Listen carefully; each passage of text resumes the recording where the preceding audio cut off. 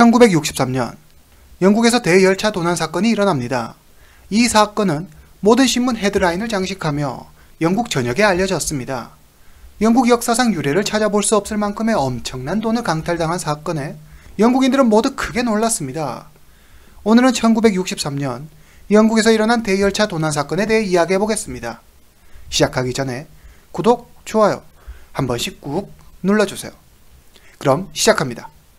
1963년 고가의 소포와 우편물 그리고 엄청난 금액의 현금을 실은 열차 한 대가 글래스고를 떠나 런던을 향해 출발합니다. 그러나 잠시 후 열차에 있던 현금이 모두 사라지고 맙니다. 과연 무슨 일이 있었던 것일까요? 함께 1963년 8월 8일로 가보겠습니다. 1960년대의 런던은 흑백이 함께했던 때로 경제, 문화 등 다양한 분야에서 큰 발전을 이루었지만 다른 한편으로는 범죄율이 굉장히 높았습니다. 런던 서남부에는 서민들의 푼돈을 갈취하며 살아가는 사우스 웨스트라는 이름 없는 조직이 있었습니다. 이 조직의 보스는 브루스 레이놀즈라는 사람으로 31세 런던 출신으로 나폴레옹이라는 닉네임을 쓰며 골동품 가게를 운영하고 있었습니다. 이미 여러 차례 절도 혐의로 수감되기도 했었죠. 레이놀즈는 많은 소송에 휘말렸었는데 그때마다 그를 도와주는 친구가 한 명 있었습니다. 그는 29세 변호사 사무실 직원 브라이언 필드였습니다. 비록 변호사는 아니었지만 법을 매우 잘 알아 레이놀즈가 사기 소송에 휘말릴 때마다 보석으로 나올 수 있게 도와주었습니다. 브라이언은 다양한 분야에서 활동하고 있는 사람들을 알고 지냈는데 그 중에는 영국 황실 우편 행정보안을 담당하는 간부도 있었습니다. 하루는 브라이언은 그 간부를 통해 극비사항을 하나 알게 됩니다. 북부 글래스고에서 서해안을 따라 총 7개의 역을 지나서 남부 런던 유스턴역까지 정기적으로 운행하는 런던 왕실 우편 열차인 기관차 D326편에 관한 일이었습니다. 이 열차는 일반 열차와는 달라 목적지까지 저녁에만 달린다고 그리고 VIP 통행권도 가지고 있어 그냥 우편물이나 소포를 운반하는 열차인데 말이야. 거기에는 아무도 모르는 비밀이 하나 있거든. 바로 엄청난 금액의 현금을 싣고 있다는 거지. 순간 필드는 일확천금을 얻게 될 천재 이루의 기회라고 생각했습니다. 하지만 혼자서는 역부족이라는 것을 잘 알고 있었죠. 그래서 사우스웨스트 조직의 보스 브루스에게 도움을 청합니다. 브루스는 조직원인 구디, 에드워드, 윌슨을 이 계획에 합류시킵니다. 브루스를 주축으로 한 이 네 명이 열차 도난 사건의 핵심 인물들입니다. 그들은 자신들의 아지트에서 세밀한 계획을 세우고 정보를 수집합니다. 그 결과 몇 가지 사실을 알게 됩니다. 첫 번째, 열차는 총 12칸으로 이루어졌고 두 번째, 기차 종류는 British Rail Class 40으로 당시에는 신형 디젤 기관차로 1963년에 널리 사용되어 쉽게 기차 내부 구조를 파악할 수 있었습니다. 세 번째, 우편물을 분리하는 직원 말고는 따로 경비를 두거나 경보장치를 설치하지 않았습니다. 왕실 우편 열차는 절대 도난당할 일이 없다고 생각하고 상당한 자신감을 보인 것으로 추측됩니다. 고가의 소포와 그에게 현금을 운송하는 일 자체가 극비인데다 목적지인 런던까지 멈추지 않고 다이렉트로 달렸기 때문이죠. 그들은 이 같은 정보를 수집해 치밀한 계획을 세웠지만 한 가지 문제만큼은 도저히 해결할 방법이 없었습니다. 바로 열차를 멈추게 하는 일이었습니다. 그래서 그들은 긴 고민 끝에 이 방법을 해결할 수 있는 사람을 찾기로 하고 수소문 끝에 적합한 인물을 찾았습니다. 바로 런던 남부 조직의 보스 코드리였습니다. 그들은 코드리를 포섭했고 코드리의 부하 위스비, 웰치, 호세까지 4명을 팀에 합류시켰습니다. 이 4명은 모두 열차 도난 경험이 있어 열차를 중간에 멈추게 할 방법을 잘 알고 있었습니다. 이들이 합류함으로써 이렇게 총 9명이 한 팀이 되었습니다. 그러나 브루스는 여전히 인원이 부족하다고 생각해 빅스, 델리, 화이트, 그리고 기타 사우스웨스트 조직원까지 동원해 총 18명의 도난단을 조직했습니다. 이 중 정보를 제공한 2명을 제외하고 16명이 행동대원으로 열차를 습격하게 됩니다. 그들은 몇 달 동안 계획을 짜고 각자 자신의 임무를 부여받았습니다. 드디어 행동을 시작할 때가 되었습니다. 1963년 8월 8일 목요일 새벽 런던 왕실 우편 열차 D326편이 전속력으로 런던을 향해 달리고 있습니다. 운전석에는 58세의 노련한 기관사 잭 밀스와 26세의 부기관사 데이브 파가 있었습니다. 이 열차는 8월 7일 저녁 6시 50분에 글래스고를 출발해 9시간 뒤인 8월 8일 새벽 4시에 유스턴역에 도착할 예정입니다. 열차는 총 12칸이고 거액의 현금은 두 번째 칸에 보관되어 있었습니다. 열차에는 72명의 직원이 분주하게 우편물을 분류하고 있었습니다. 새벽 3시. 열차가 출발한 지 8시간이 지났습니다. 런던 유스턴역까지는 이제 1시간밖에 남지 않았습니다. 그런데 열차가 시얼스 건널목을 지나려고 할 때 갑자기 신호등에 빨간불이 들어왔습니다.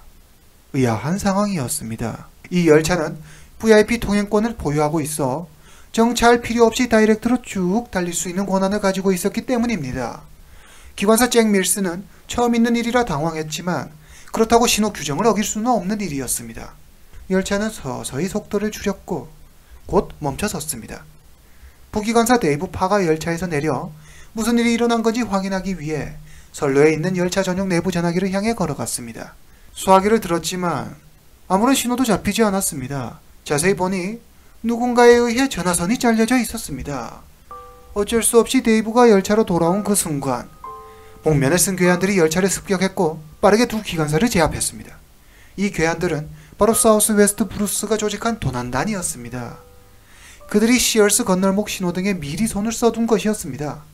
빨간 신호와 연결된 전기선을 잘라내고 자신들의 축전지에 다시 연결해서 빨간 신호를 켠 것이었습니다.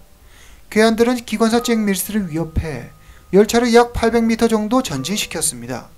이곳 브리디고 다리 밑에서 나머지 일당과 트럭 두 대가 기다리고 있었습니다. 기다리던 일당들은 열차가 나타나자마자 바로 열차를 강탈해 기관사 직원들을 협박했습니다. 30분이다. 아무것도 하지 말고 그 자리에 가만히 있어. 만약 조금이라도 움직인다면 즉시 없애버리겠다. 도망칠 생각은 하지 마. 너희들 얼굴은 모두 기억해 두었어. 도망치면 지구 끝까지 쫓아갈 테다. 겁에 질린 열차 직원들은 벌벌 떨며 자리에서 아무도 움직이지 않았습니다. 브루스 일당은 열차에 있는 현금을 대기하고 있던 트럭으로 옮겼습니다. 모든 일이 그들의 계획대로 순조롭게 진행되었습니다. 계획된 시간이 다 되어갈 무렵 열차에는 아직 8포대 현금 더미가 더 남아 있었지만 그들은 안전을 위해 신속히 철수했습니다. 열차에서 이들은 30분이라는 짧은 시간에 무려 264만 파운드를 훔쳐 달아났습니다. 지금 가치로는 4천만 파운드, 한화로 600억 상당의 돈이었습니다. 그들은 약 40km 떨어진 오클리 버킹엄셔의 레더슬레이드 농장으로 이동했습니다. 그곳에는 훔친 현금을 보관할 수 있는 장소와 몇 주치의 식량이 준비되어 있었습니다. 이미 범행을 실행하기 전 이곳을 도주 장소로 계획해둔 것입니다. 현금은 모두 120포대로 대부분 10실링, 1파운드, 5파운드 같이 작은 단위의 돈이 많았지만 중량이 2.5톤에 달할 정도로 그 양이 엄청났습니다. 그들은 264만 파운드를 공평하게 나눠 가졌습니다. 그 당시에는 상상도 할 수 없는 엄청난 돈을 가졌다는 사실에 모두들 세상을 다 가진 듯 기뻐했습니다. 그야말로 완벽해 보였습니다. 30분이라는 시간을 말하는 실수만 하지 않았다면 말입니다. 기관사 잭밀스와 직원들은 현금이 사라진 것을 발견하고 바로 경찰에 신고했습니다. 현장에 도착한 경찰관 중 한 명인 터미 배틀러는 중요한 사실을 하나 알게 됩니다. 범인들이 열차 직원들에게 30분 동안 움직이지 말라고 협박한 것입니다. 토미 배틀러는 이 정보를 토대로 범인들의 은신처가 범행 지점으로부터 30분 이내 거리에 있을 것이라는 결정적인 힌트를 얻습니다. 경찰은 범행 장소인 브리디구 다리를 중심으로 50km 범위의 모든 집을 조사해 결국 범인들의 은신처를 발견했습니다. 그렇지만 범인들은 이미 모두 사라진 뒤였습니다.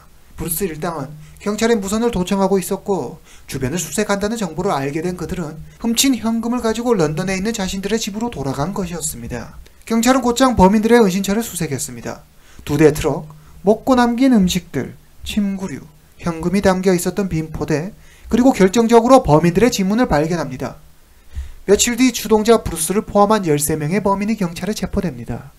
그런데 좀 이상한 점이 있습니다.